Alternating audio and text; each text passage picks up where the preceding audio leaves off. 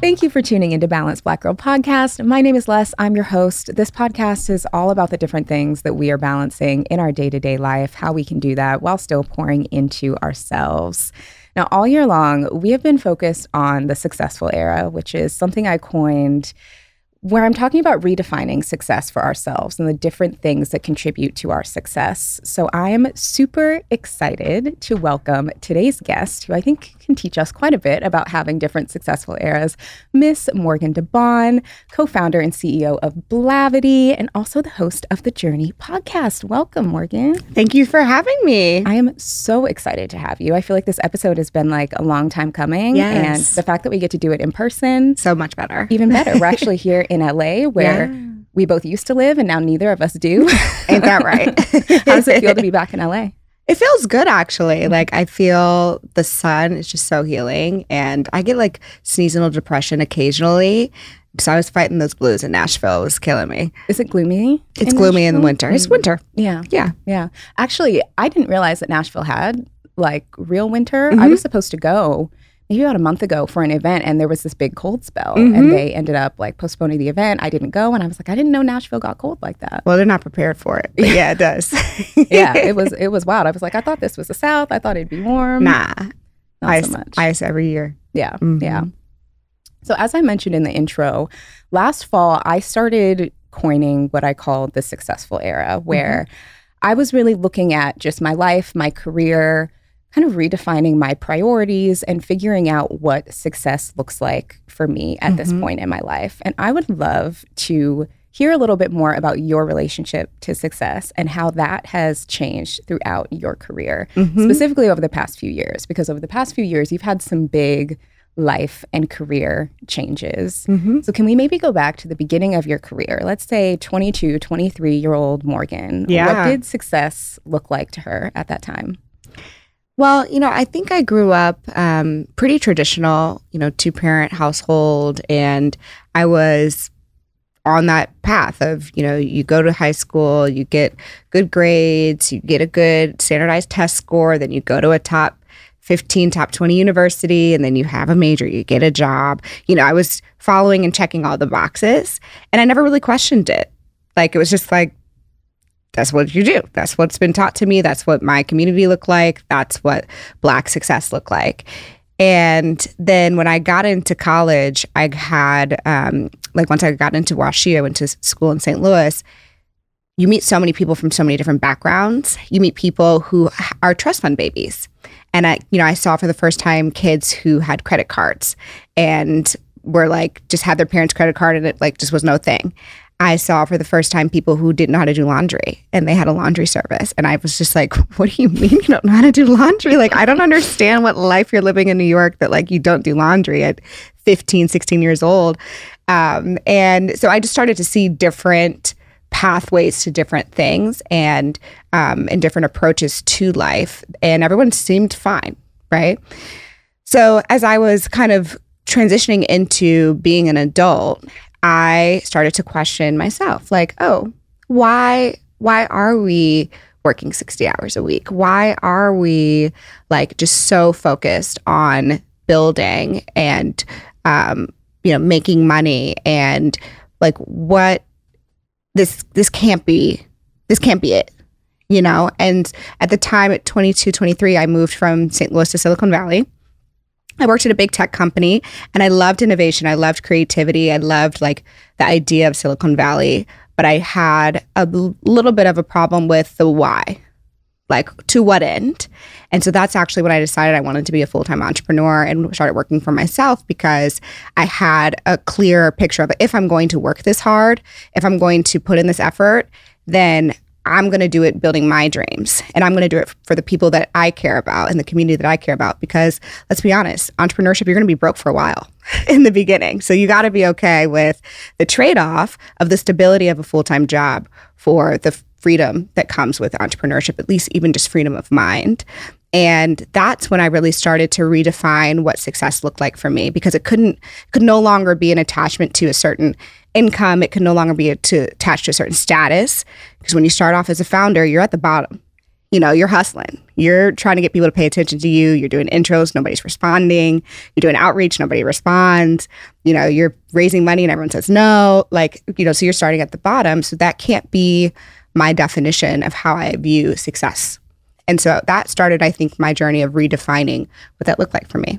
Mm, I love that. There were a couple things there that you said that were like so good. Mm-hmm. One, your initial experiences working in tech and not resonating with the why. And something that I also think about a lot in the work we do specifically for other people is like who is benefiting from this? Mm. You have talented, creative people who is ultimately benefiting from the work that is being done. Yes. And I think people who are drawn to entrepreneurship, like it's because they're not connecting with the who is benefiting when they're working for other people mm-hmm. and wanting it to benefit like something that's more meaningful. Mm-hmm. I completely agree. Either who's benefiting, like the founders, the owners, the people who own the actual asset that you work for, or the customer. Like, who am I serving? Like, am I, do I feel good about advancing the capitalism structure that I'm partaking in? Do I feel good about that? And if the answer is no to both, then you got to reevaluate. Exactly. Exactly. Mm-hmm. What I also think is really interesting is for people our age, like millennials we came up at a really interesting time where so many more things were available to us. And mm-hmm. I think a mm-hmm. lot of us can relate to what you said about checking those boxes of success previously looking really linear. That was kind of what we were taught go to school, you get a good job, mm-hmm. you do the things, then you retire. But for our generation, we were kind of the first generation where we had more options and it almost is like a little bit scary. And it's overwhelming. with it. Yeah, absolutely. When we could do anything. Mm-hmm. And I think sometimes when people struggle a lot with, okay, what is it that I want to do? Where do I want to go? It's because they're trying to follow that old system mm-hmm. that doesn't actually work anymore. I completely agree. We have so many options. It's like going in the grocery store and it's like, what kind of ketchup do you want? And It's like, oh, well, do you want the ketchup with no sugar? Do you want the classic ketchup that you grew up with? Do you want the ketchup from the random brand from Trader Joe's? Like, you know, and I think that has made people also feel slightly unhappy. I think there's science that backs the more options that you have, the more that you second guess yourself, the more that you are potentially feeling like, man, should I have picked something else? And right, the grass is always greener on the other side. I think older generations didn't have as many options. So they potentially felt happier. Totally. And that applies to everything to jobs, mm-hmm. to dating, to where you can 100%. live it's it can be a little bit too much. And then i think when we look to external factors to mm-hmm. help us mm-hmm. make those decisions then it becomes even wilder. Yeah absolutely. Definitely dating. I mean i feel like our generation is more and more like not committing at all to anything. Right. Because it seems like you have so many options but then the options don't seem that good. Right like, you're like i could be bad all by myself. Right. listen i was single for a long time. It took me a while to find my partner and it's like it does require making a commitment it's hard. Definitely, definitely. I've been watching your, your reels about relationships. I'm like, all my so good. My jokes. yeah, you're single girl era. Yes. So good. yes. Yes. So going back to when you first got into entrepreneurship, mm-hmm. when you got to the point where it's like, okay, you're no longer still at your tech job and starting entrepreneurship on the side. You're going full time into it. Mm-hmm. How did your definition of success evolve at that point? Mm, such a good question. I think that when I was making that leap, I was in San Francisco. Um, I had been working out of my apartment on Blavity. It was just me, and my co-founders were working part time, but I was the first one to kind of go full time and really start financing the business. Success was um, I had to actually define smaller definitions of success. I like had to detach from success is fundraising a certain amount of money or success is having X amount of customers because it's unpredictable you know, that stuff is actually wasn't in my control. So I started focusing more on success, meaning like taking action every day, ha- building a behavior every day. Um, there's this thing called the virality coefficient. So I was really focused on how do I see if this is growing. So if every person that I bring in, they bring in another person, good. Like that's that means that we're growing organically. And similar to podcasts, right? Like if everyone who listens to this podcast shares it to somebody else, then you're growing organically. And that is success. That's engagement. So I started to redefine the metrics that I was looking at. I'm very data driven. So I had, like, my logical brain had to say, okay, well, we got to hold on to something, right? Yep. Um, but I tried to make it things that were more grounded in, in behavior that I could control because that helped me feel really like I was in control. Like I was able to navigate my destiny a little bit better and I wasn't beholden to someone else saying yes or no to whether this dream that I had was going to come alive.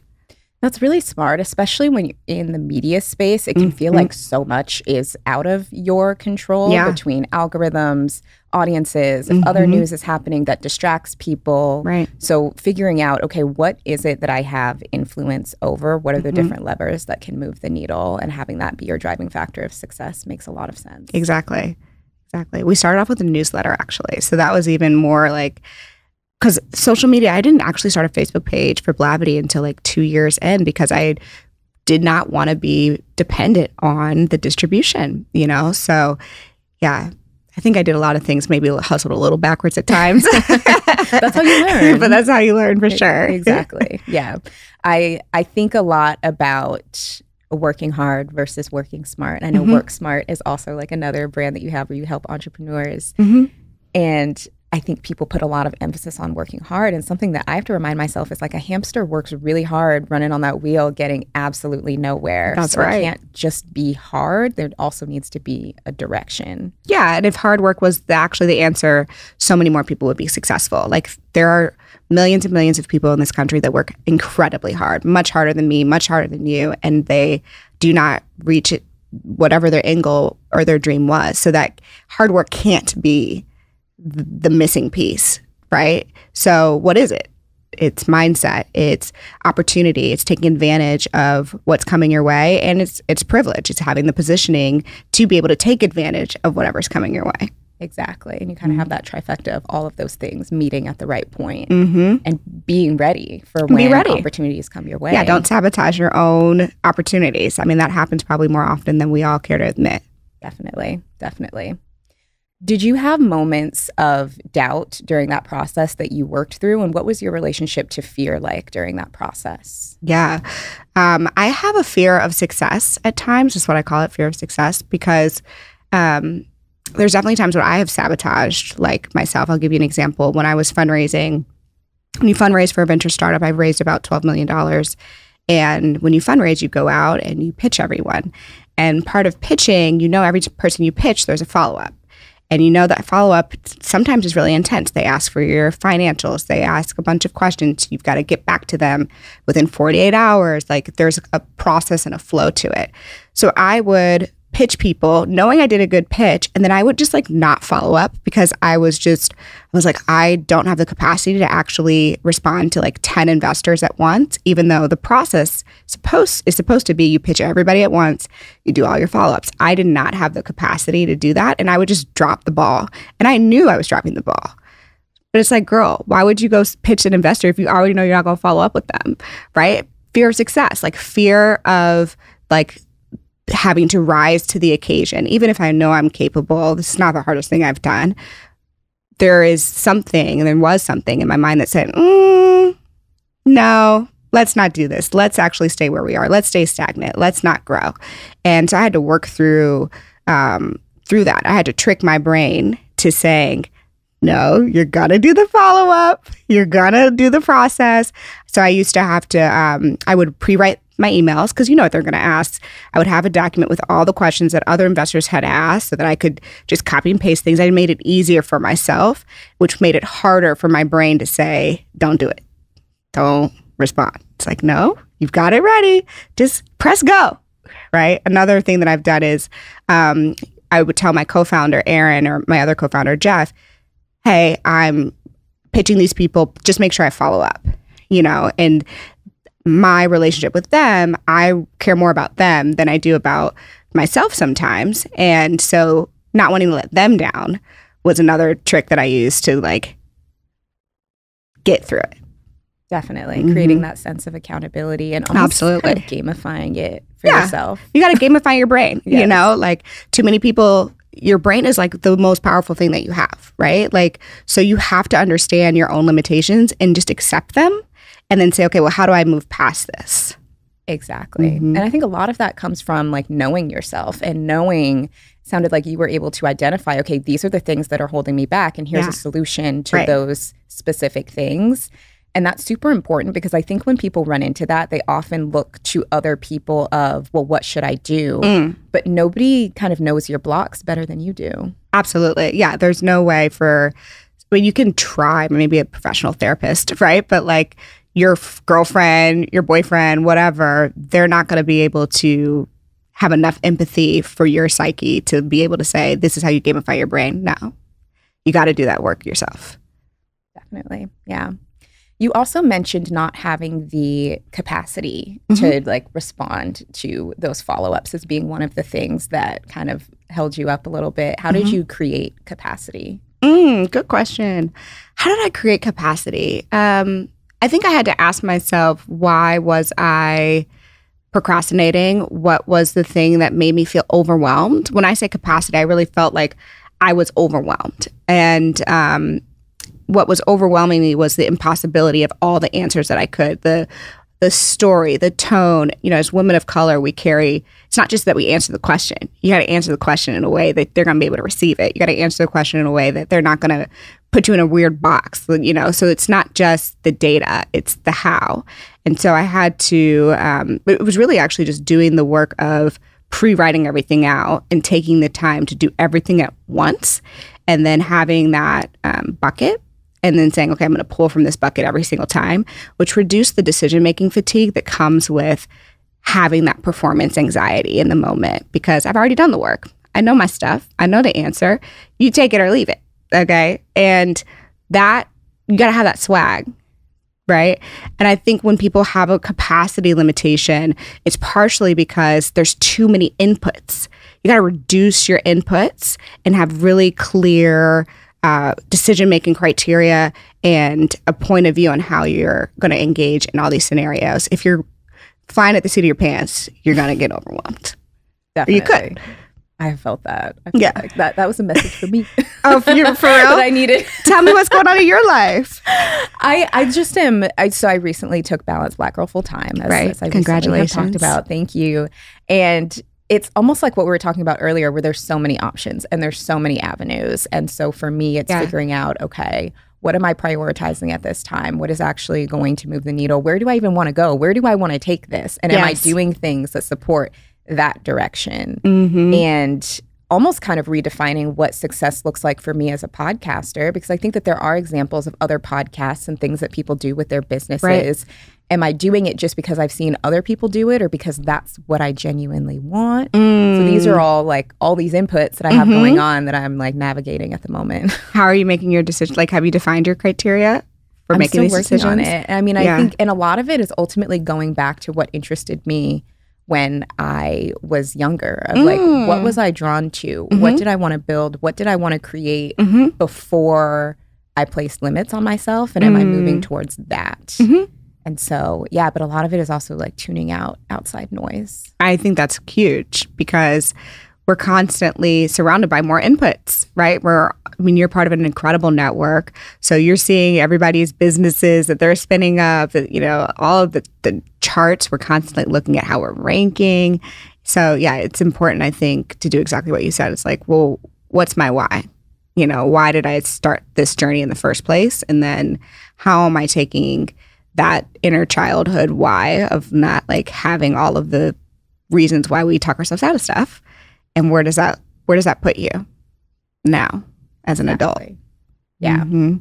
And I'm I'm also realizing too, and I'm sure that you get this as well when people come to you for advice for different things. I'm realizing like, why are you asking me? I'm a stranger. Like, I don't I should not be the one telling you what you should do with X, Y, Z. Like if it's on your heart to do it, do it. And then it's also made me realize how much I have done that to other people. And it's Mm. made me kind of rethink the questions that I ask and the ways that I seek direction. I agree. When people ask me for advice, I rarely tell them the answer. I usually just say, well, this is how I would make this decision. This is how I think about this kind of a problem. And then you do you do you. You know, you want to go left, go left. You want to go right, go right. But this is how I would decide to go left or right. if I were in your shoes.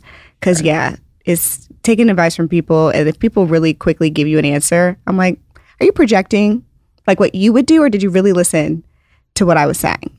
Right. Exactly. Mm-hmm. And if they only have like a teaspoon of information, it's yeah. never going to be a well rounded answer. No, not at all. So stop listening to other people. Yeah. yeah. stop asking for advice. Ask them how they would make the decision. Right. Right. That's yeah. a really good tip.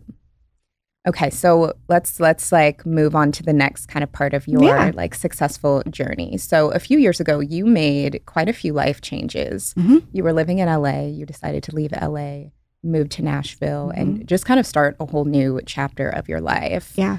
It sounded like, based off of just things that I've heard you say on your podcast, on other people's podcasts, that you were also factoring in other measures of success that weren't necessarily work mm-hmm. related and that you were beginning to prioritize those things. So, can you take us back to that time? Yeah. And kind of what was going on for you? Absolutely. You know, we were in the height of the pandemic, and um, I think for me, I felt when the pandemic first started, I kind of went into like a war, I call it like a wartime CEO. My my primary focus was Blavity and was making sure that the company was going to sustain itself eh, regardless of what was happening. You know, we have a huge conference called Afrotech and it's in person and it's, you know, a big part of our business. So I wanted to make sure that that didn't, that community that needed us now more than ever because people are getting laid off and all types of stuff was still there. And so I had to isolate myself. You know, I, I was single, living in downtown LA in a one bedroom apartment and I'm just like, go go to the grocery store, go home. Sit home, go to grocery store. Like literally do nothing. Don't go to the gym, do nothing because I didn't want to get sick. And that took a toll on me. Um, and then George Floyd was mur- murdered, and that was only a few months after the pandemic started. And um, then not only was I in ward time zone to protect the business on the Afrotech side, I then had to be in a war time zone on the media side because we had work to do. We had work to do to evangelize what was happening, to promote the activists that were on the ground, to advocate behind the scenes with all of these companies who wanted to know how they were going to show up for Black consumers. And so, you know, I was depleted. I was depleted on both ends. And I made the decision at that time actually to move to the beach. So, you know, downtown LA is a concrete jungle like you wouldn't believe. I mean, you you know. Yes. But the people listen, I'm like, it's, it's rough. It is. Okay. Yes. It's rough. It's not like glitz and glamour downtown New York. It's yeah. not that. So I moved to the beach so that I could have a beautiful setting and a beautiful environment. Um, and when you move to the beach in LA, this weird thing happens because everyone seems to be living in La La Land. Like I moved to the beach, and you would have thought that there was no election year, there was no George Floyd, there's no pollution, there's no war, there's no nothing. It's just surfing and bikes and vibes and volleyball and babies and you know and so I was able to get my work done during the day which was a lot of effort and then go for a walk and I think that um, being in an environment and in a space that was the exact opposite of what I was feeling at the time gave me so much clarity and so much freedom to say, if you're going to sustain as an entrepreneur for the next 10, 20, 30 years of your life, you gotta get in an environment that is more chill. Like, I will work myself to death if I am staying in this concrete, physical environment. I gotta get out. And that experience allowed me to say, okay, let me feel more free. And what does that look like for me? So, very quickly, actually, I then decided to do a sabbatical for uh, about 60 days in Costa Rica. And I call it my hard reset. I went to Costa Rica with my girlfriends and I gave myself permission to do nothing for 30 days. It was like, do whatever you want. You made it through the panty.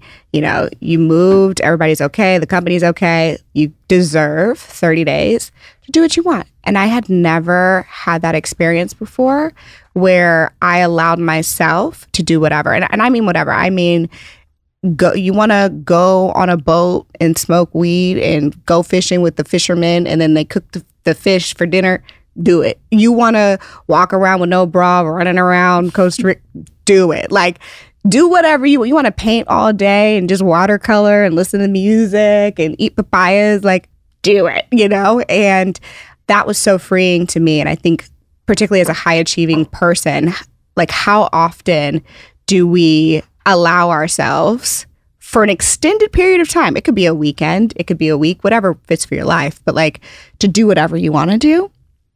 And that having no responsibility um, and giving myself that permission then unlocked another level of like, I got to get out of LA. I got to move. I want to move closer to my family. I want to move into an environment where I can be more grounded on a day to day basis so that I can prolong my ability to continue to make an impact in my community. So I can prolong my ability to be a good CEO and be a better CEO because I'm more balanced. Um, so that was the beginning of a lot of different things in a new chapter in my life. Oh, I mean, obviously, this is a Balanced Black Girl podcast. We're in a wellness space. So this should, I just love this, this adventure that you had in Costa Rica and just being able to see how important your well-being is to everything else that yes. was happening and hearing you start to prioritize that. It just makes me happy. It was new. It was new for me because I'd been so responsible. I started the company at 24 years old. You know, we have 200 employees. I felt responsible for everything. And whether I should or shouldn't, who knows? But that's how I felt. And I've carried a lot of that. And, you know, if we do a layoff, I feel every single one. If we had to do a reduction in salary during COVID, I felt every single every single choice that we made. And I physically felt every single choice. I mean, my face was inflamed, you know? And um but that's not sustainable. And I knew entrepreneurship was a lifestyle choice for me. It wasn't just a milestone. It was my who I am. It's part of my identity. And so I'm like, this isn't going to work. This isn't going to work in the long run. I gotta, I gotta redirect. I gotta figure out a better way. And I'm so glad that you did that before, you know, we get to points where our bodies will like force us to. And it mm-hmm. sounds like you were able to get to that point before like you physically yes. had to, which is good. Yes. I've seen the other side as well. Plenty of friends who've just wound up in hospitals. So sad. Literally. Yeah. Yeah. Don't do that. No. Y'all take your reset before that. Please. Figure it out. Learn how to rest before your body forces you to. Yeah. Yes, absolutely. So important. Mm-hmm. Okay, amazing. So you had that realization. You have your hard reset in Costa Rica. Mm-hmm. And then what was next?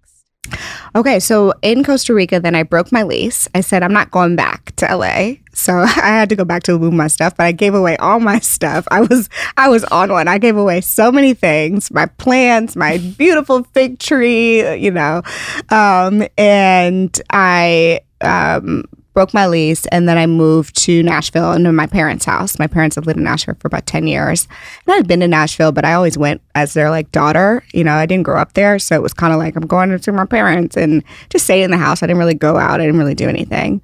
Um, so I moved into my parents' house. I used their closet as my office, and um, I started to get my finances together to be able to buy a house, to buy my first house. Because I didn't want to live with them forever. I mean, like I'm 30 plus years old.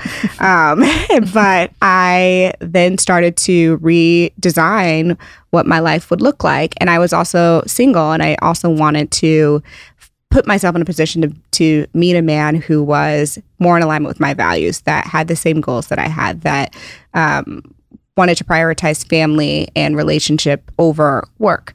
And living on the coast, sometimes it can be hard to find men who have those priorities.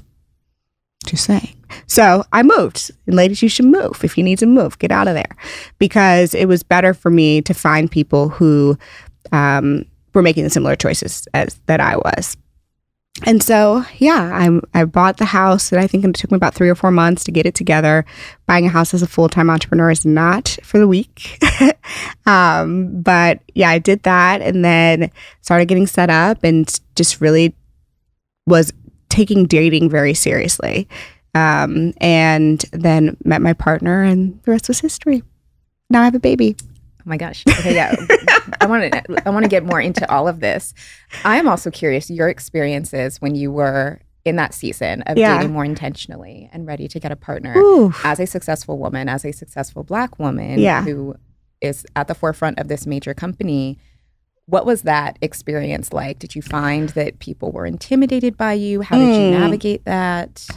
You know, I don't think that I found people were intimidated. I think the men who were intimidated never shot their shot. So, like, I didn't really talk to them. I'm sure there was a bucket of them somewhere. um, I would say, actually, when I first met my partner, he didn't know anything about Blavity. He didn't know who I was. You know, we met through a mutual friend at a bar, you know, so we actually didn't talk about work for like the first three to six months. I didn't really know what he did either. Um, and that was really freeing. Um, you know, it, he didn't care.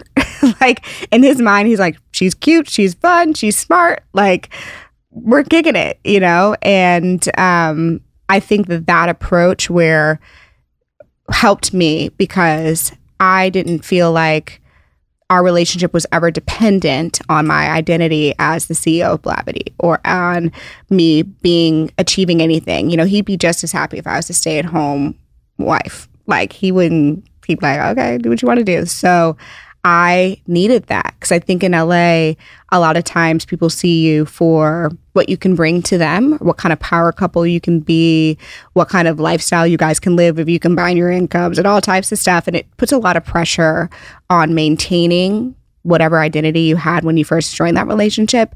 And I knew that at some point I might say, you know, I just want to be a full time painter. you know, or like, let's go to Costa Rica for six months out of the year. Like, I just wanted to feel like in a, the relationship, I could be Morgan DeBaun, you know, the person.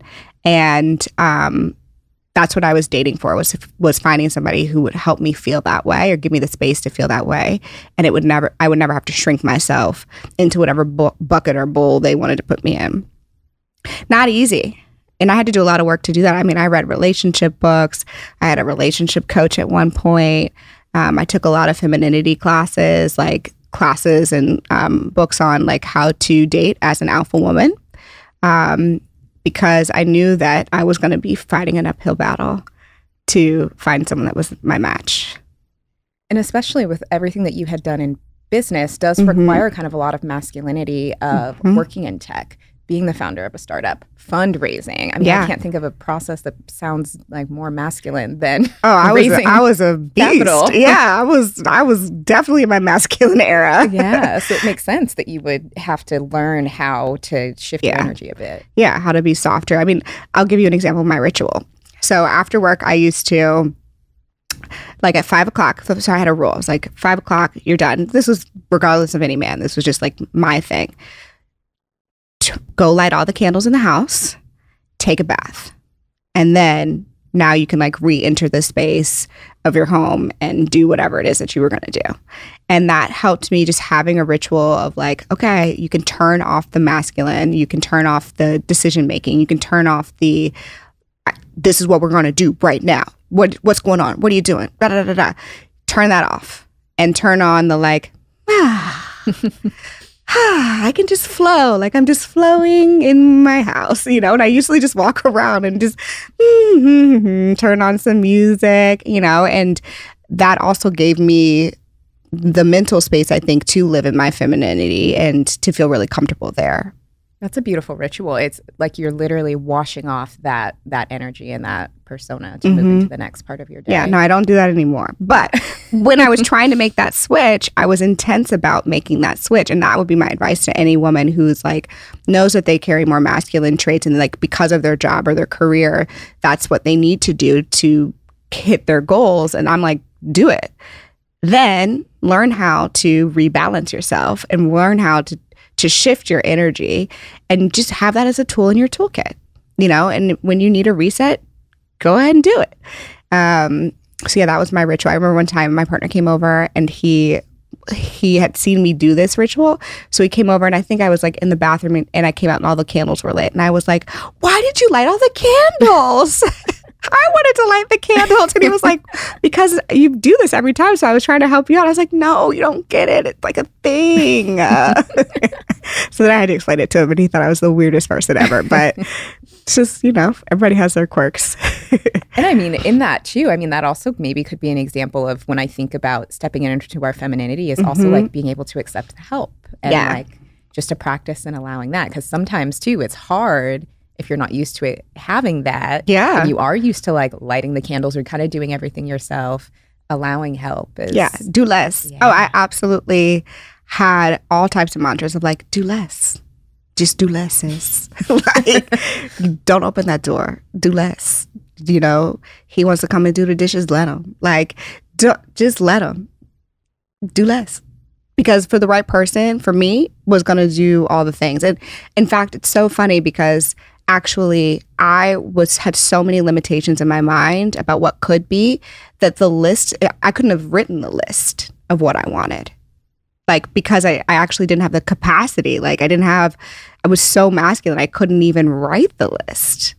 So God handled it and the list was made for me. Mm. But I think learning how to um, I mean part of it is making that investment, you know, part, like making the time investment um, and the mental space investment to figure out what you want. And I think a lot of high achieving women, they're so busy. We're so busy doing all the things that we don't necessarily make the time to actually slow down for an extended period of time, not just a month and be like, I'm just going to hit the apps and then I'm out. It's like, no, no, no, no, no. This is like a two, three year, four year process.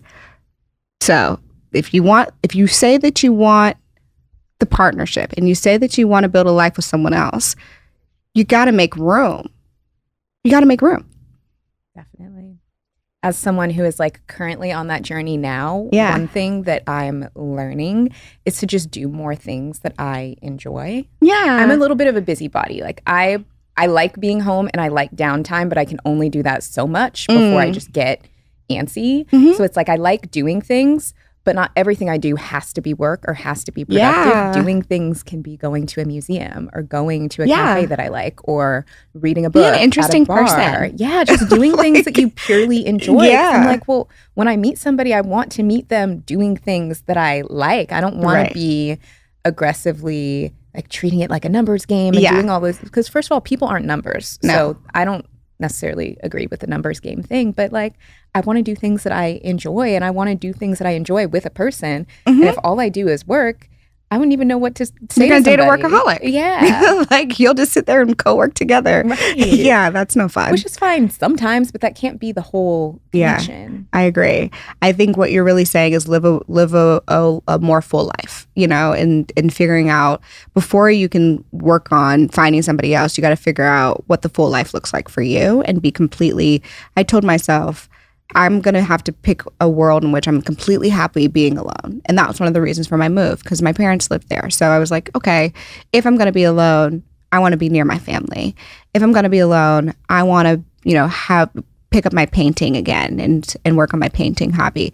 If I'm going to be alone, I want to travel and I want to experience the world. So you just do it. You just be the person that you want to be now, right? Absolutely. And then typically everything else kind of works itself out. It does. Or it doesn't, but you're so happy. Right. And that's okay. And you're doing things that bring you joy. Right. Even just having hobbies. Mm-hmm. Like there was a point in time where if someone would ask me, like, what do you do for fun? And I'd be like, fun. I work on my podcast. What, what do you mean? you know, especially when I was working full time and doing content on the side, I was like, fun. Yeah. What is that? Right. No, I completely agree. I'm like, oh, walk to work, right. listen to music. Like, yeah, I mean, it's crazy how intense we all can be when you're locked in in your career. Also, it can get away from you. Your life can get away from you. Absolutely. Absolutely. So, kind of moving on to your next milestone. Yeah. For that is that you are a new mom. I you am. have your first baby. Yeah. Baby boy a few months ago. I did. How how are you feeling? How has motherhood been so far? Feel great today motherhood is a little ghetto sometimes, not gonna lie. Um, no, but he's precious. Langston, he's three months old. Um, how am I feeling? I feel great. The first few months, I really prepared a lot for for birth and being pregnant. Like I prepared for fertility, I prepared for, you know, eating right, exercising, doing all the things to keep my heart rate down, my blood pressure down to bring life into this world.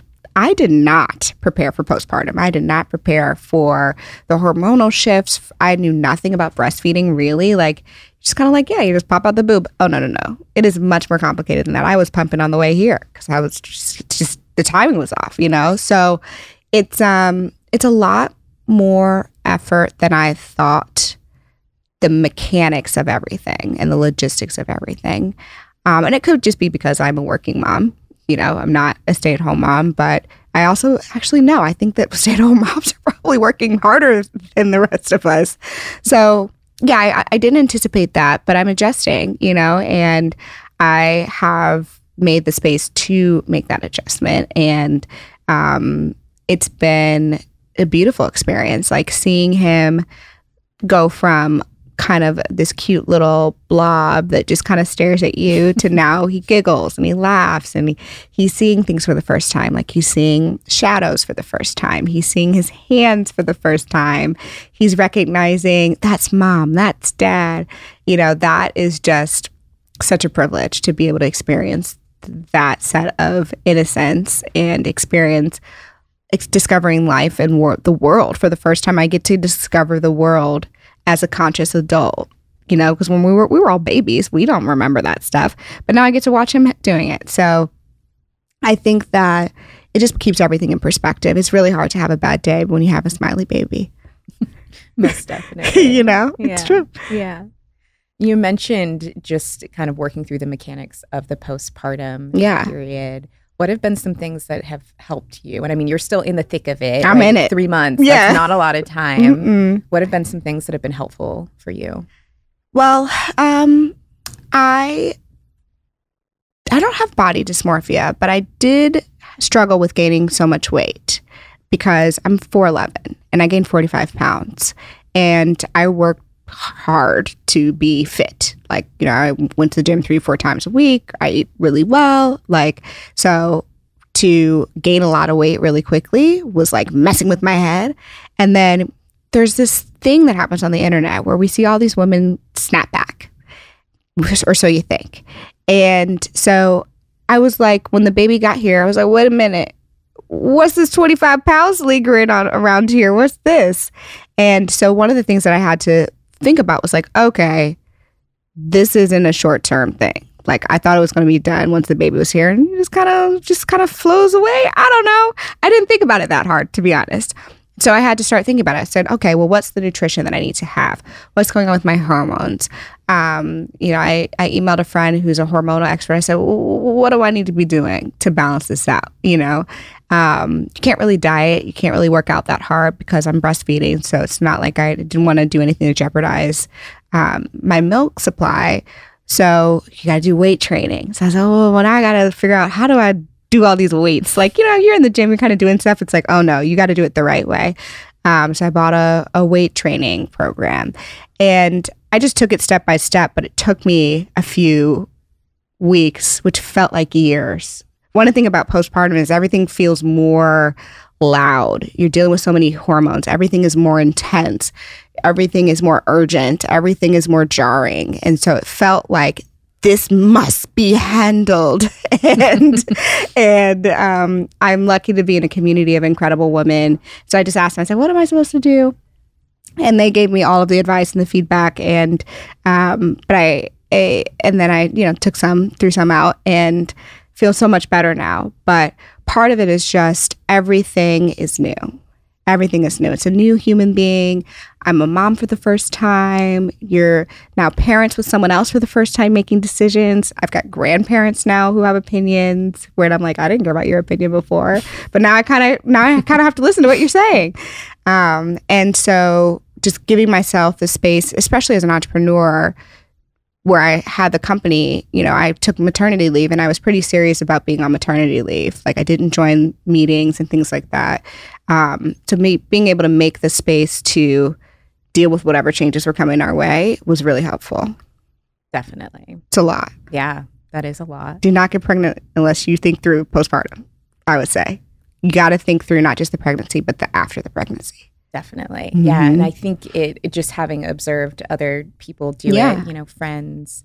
I have a new nephew who is like the same age as, as Langston.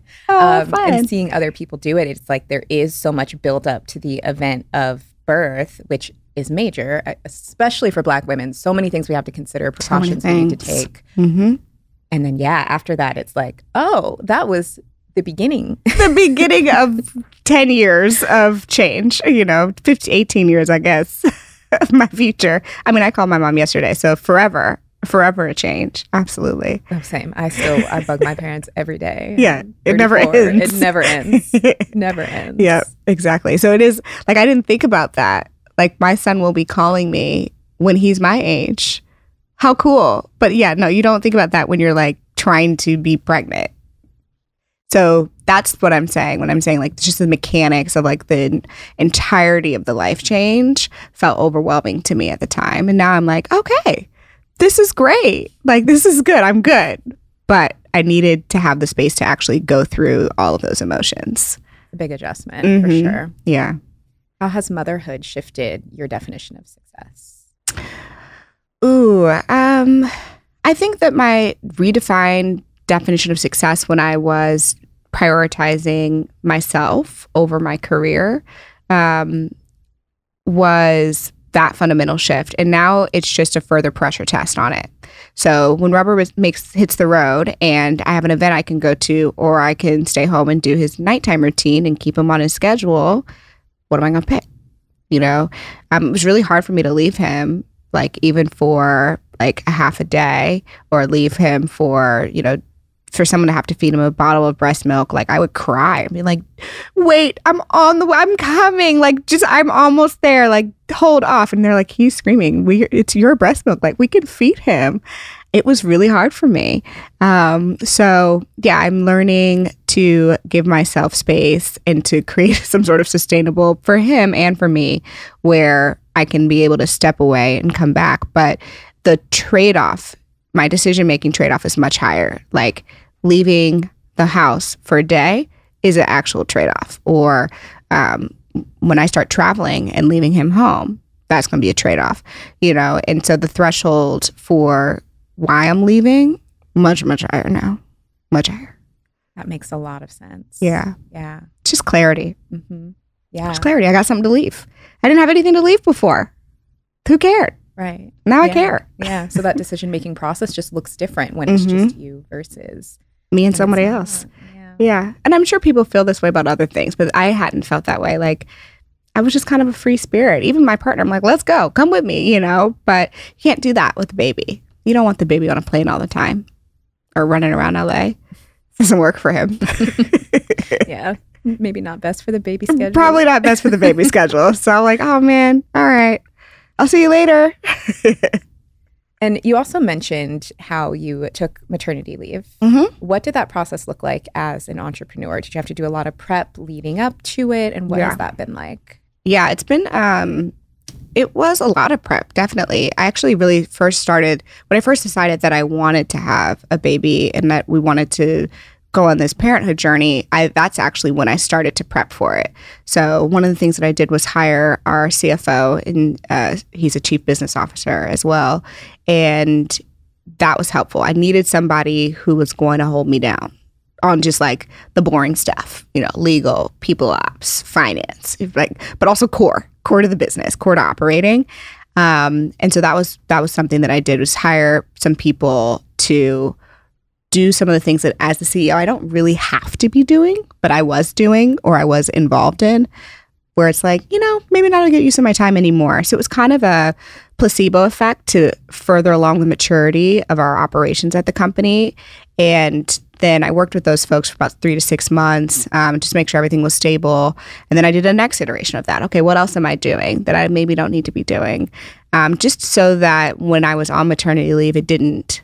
Some, I have this weird responsibility where I feel, I feel responsible to. I feel the responsibility of everybody else. So I wanted to make sure if I'm out, it didn't impact the company to the extent that I could control it. Um, and so that was the next thing that I did. And then I'm also a busybody. So I had the podcast, you know, I'm writing my first book, which comes out later this year. And I, so I was like, okay, well, I need to start batching things. So that's, that was my next step was just to, again, create some space so that I could go through whatever feelings I was going through. I could take time off without worrying about being on camera. Um, and so I started to batch a bunch of content just to make sure that there was a, a casual flow of some sort of consistency while I was out. And that's really it. Um, and I think I, I guess maybe the last thing I did was just tell people that I really was taking time off. I don't think people really believed me. And by people, I mean my employees. I think they were like, no, she's got to be online. I'm like, no, I'm really not.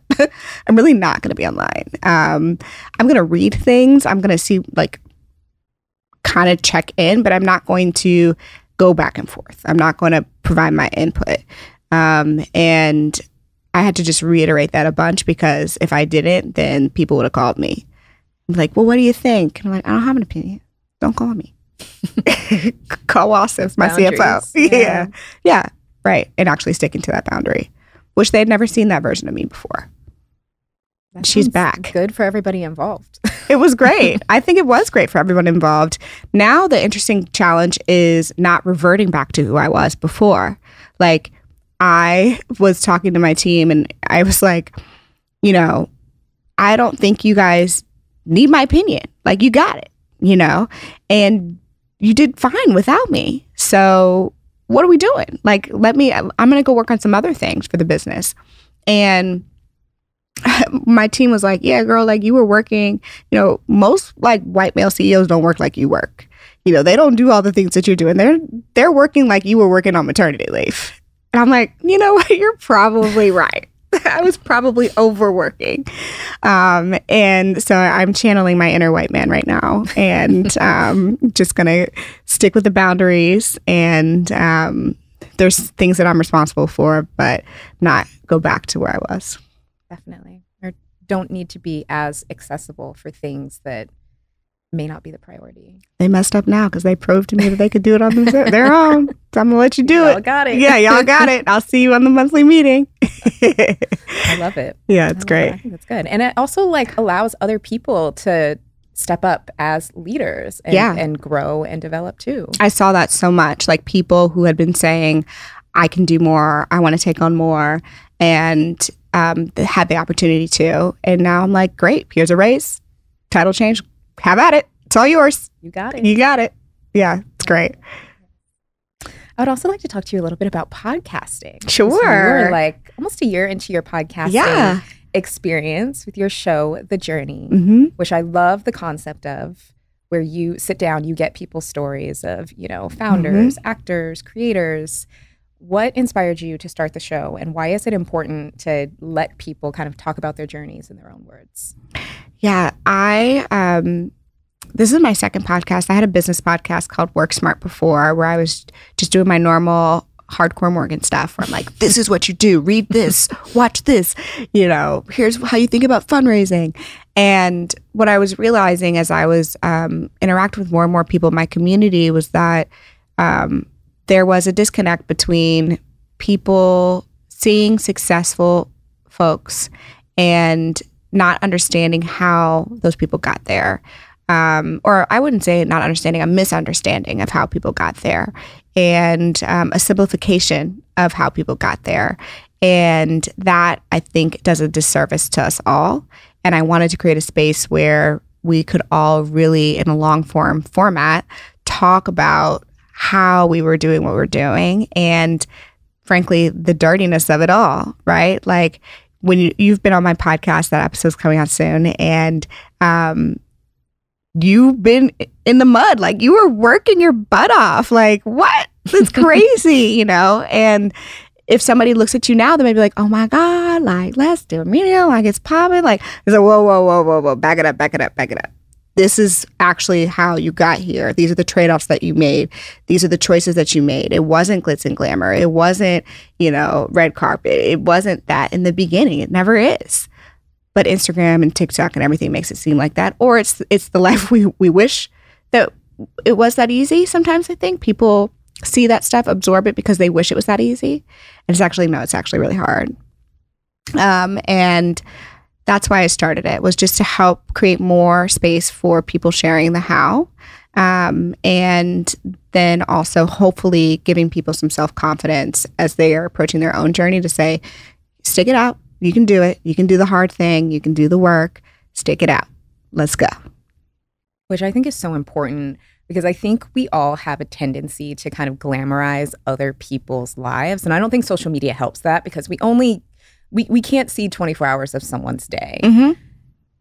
And I think it makes us kind of romanticize other people's lives. If we'll see a small snippet of a person and we'll assume, oh, that was so easy for them. Or like, Right. oh, they have all of this and that. Right. Meanwhile, people have no idea what's going on behind the scenes or what Yeah. comes to that. Even just yesterday, I posted an Instagram story because I was preparing for the podcast interviews and I Mhm. listed out here's everything that we do that. to prepare for a podcast episode. And a one hour episode easily has 15 to 20 hours of work behind it Yes. to bring it out. And people are like, oh, I thought you just sat down and talked. Oh, come on, guys. No, there's so much Yeah, more that yeah. you just may not realize. Right. And hearing people share that is so important. Absolutely. And not just you.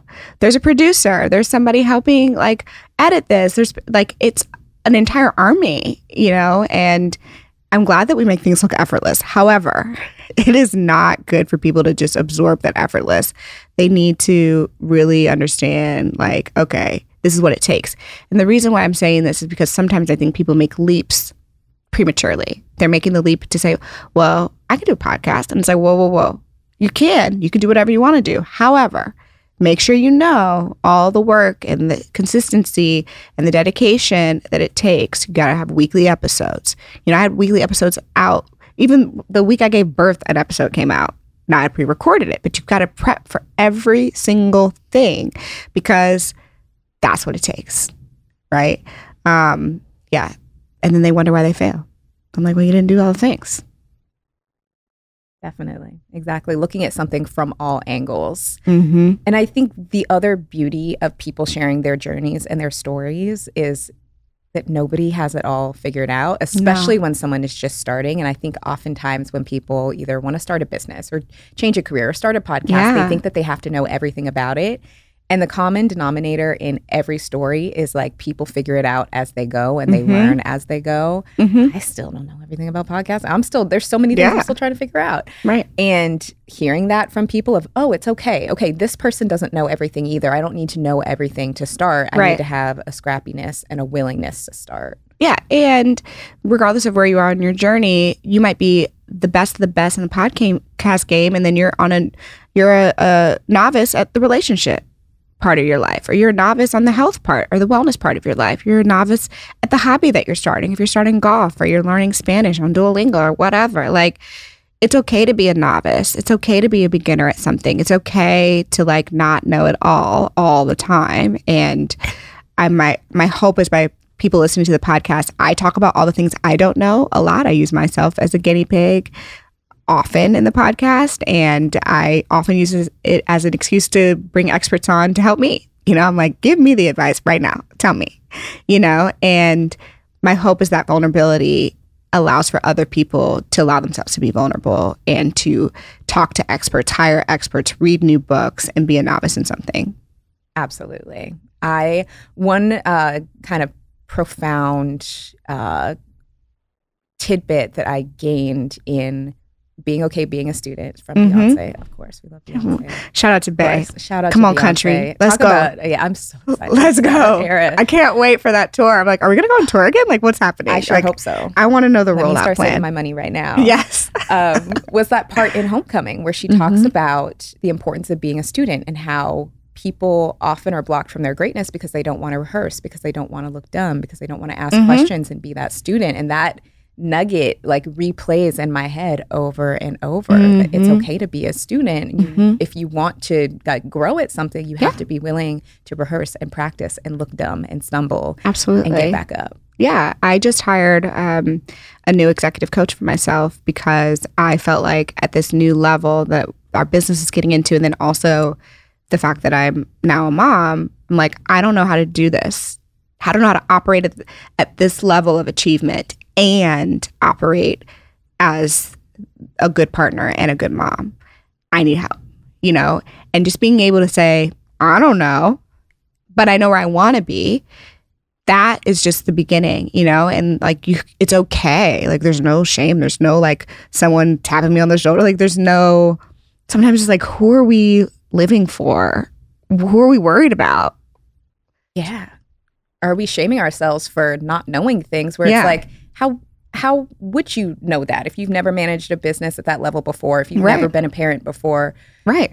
of course, it makes sense to get help to learn how to operate at that level because it's like we've never done it. And Yeah. sometimes I think we shame ourselves for things that we haven't done. Yeah, shame is the right word. Yeah. It's that is really what it is. Who's the shame expert? Is it it's not Glennon Doyle. Is it Brene Oh, Brown? Brene, yeah. Mhm.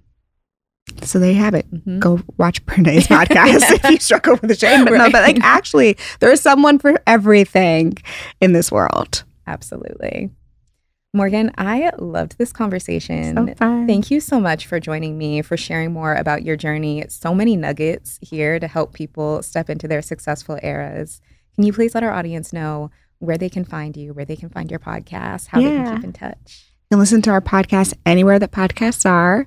Um, hit me up on Instagram. I have a bunch of fun channels where I just say all of my random thoughts all day. I'm having so much fun in my broadcast channels. And also subscribe to YouTube. Watch the videos on YouTube because I talk with my hands. Amazing. Thanks so much for having me. Oh my gosh, thank you for joining me. We'll have that all linked in the show notes. Make it easy Love it. for everybody to find. Easy you. peasy. Yes. Thank you so much for listening to this episode of Balanced Black Girl. If you liked this episode, please make sure you leave us a rating and a review. I would appreciate your five stars. We're always trying to offer a five star experience.